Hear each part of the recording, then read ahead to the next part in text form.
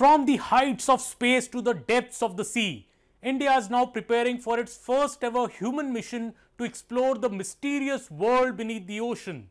Prime Minister Narendra Modi announced from the Red Fort on August 15th that India will undertake a deep sea exploration mission, a bold step that could unlock hidden treasures under the Indian Ocean.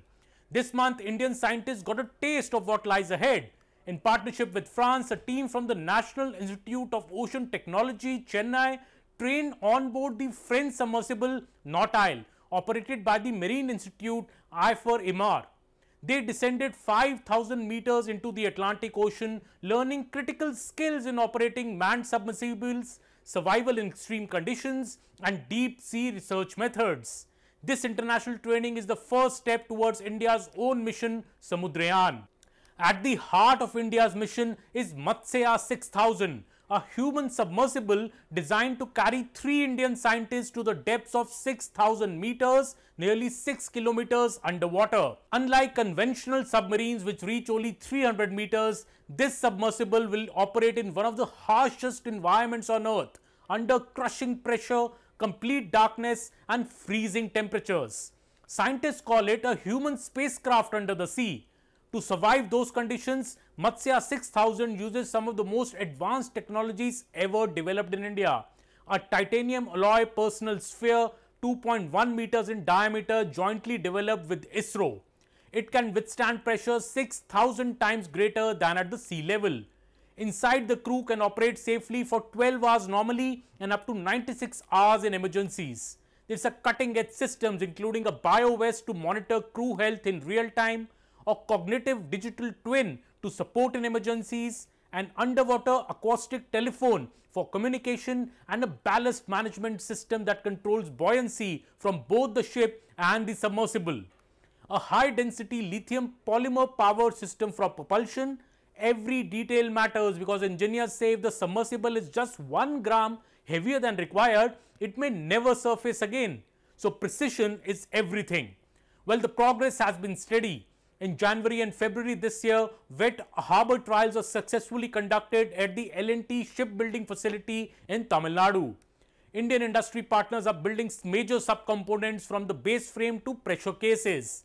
Navigation and communication systems are being integrated with support from DRDO, including GPS, Doppler velocity logs, depth and acoustic positioning systems. This is an entirely indigenous effort bringing together more than six premier institutes including ISRO, DRDO and NIOT.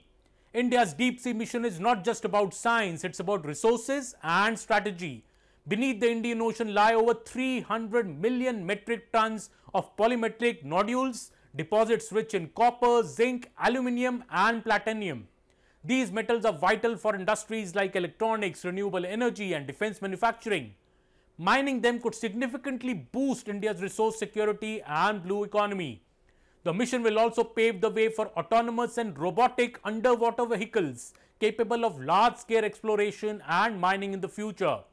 If India succeeds, it will become the sixth nation in the world to master deep sea human submersible technology joining an elite club that includes Russia, France, Japan, China and the United States.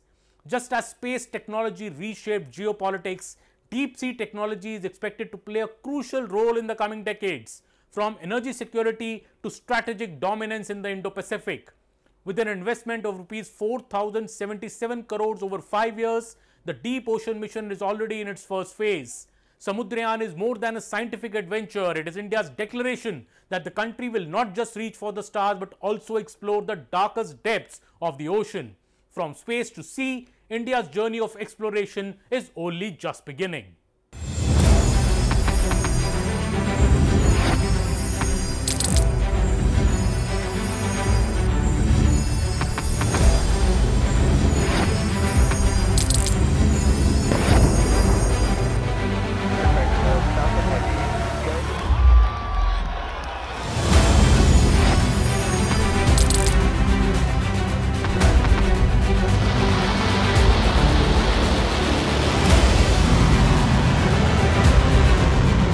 Fighting so long and so hard that they don't know what the they're doing.